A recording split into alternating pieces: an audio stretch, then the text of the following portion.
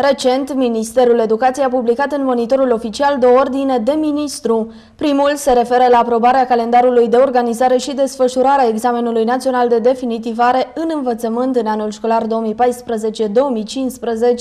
iar al doilea privește metodologia de organizare și desfășurare a examenului național de definitivare în învățământ. Examenul de definitivare 2015 constă în susținerea cel puțin două inspecții speciale la clasă și a unei probe scrise. Profesorii înscriși la definitivat vor fi inspectați la clasă până pe 5 iunie 2015 de inspectorul pe discipline de examen și directorul școlii. Notele de la inspecție nu vor fi contestate. Pentru a intra în examenul scris de definitivat, profesorii trebuie să aibă media la inspecții cel puțin 8 și să fi predat la catedră cel puțin un an.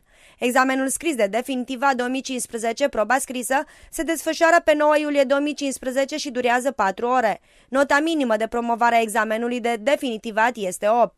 Profesorii susțin examenul de definitivat pentru a dobândi dreptul de practică în învățământul preuniversitar.